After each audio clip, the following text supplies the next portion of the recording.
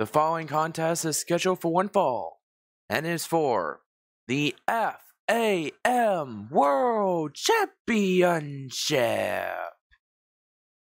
Introducing first, the challenger from London, England, weighing in at 315 pounds, Cameron Bash.